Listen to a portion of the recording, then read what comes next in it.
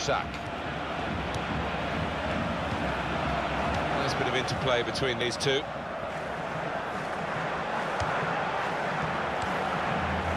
Goes for goal! A goal!